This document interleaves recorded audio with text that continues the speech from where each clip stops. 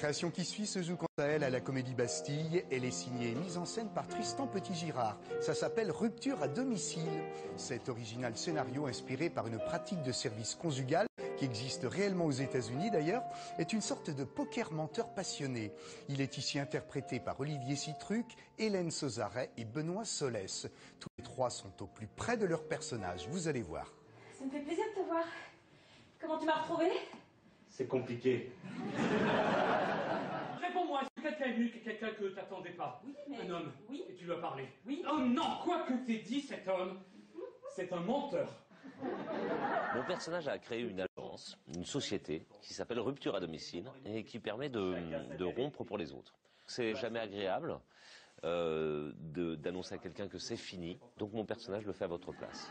J'ai tout de suite senti qu'on allait bien s'entendre, toi et moi. Ah bon? C'était pas évident au premier coup d'œil. S'il se pointe, je suis armée Gaëlle, c'est cette fille qui m'a quitté sept ans auparavant.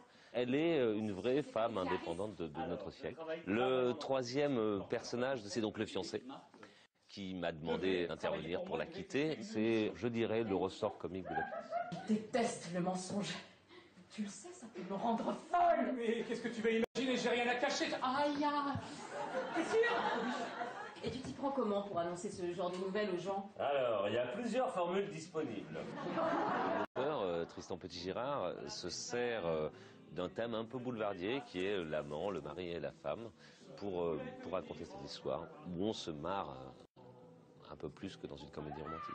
Ça de Non mais gars, sacré culot, toi, relève-toi Tu te rends, Eric? Relève-toi, je te dis. Calme-toi. Mais tu vois pas ce qu'il est en train de faire? Vas-y, merci, je suis quand même la première concernée. Non mais il joue un jeu, là! Tout ça, c'est contre moi. Il va pas falloir que tu le prennes mal. Grâce à ces deux comédies, il y a beaucoup de sourires dans l'air, aussi bien de l'orchestre au balcon du théâtre de la Michaudière que dans la typique salle intime et chaleureuse de la Comédie Bastille. Avec Hibernatus et sa troupe, c'est détente assurée.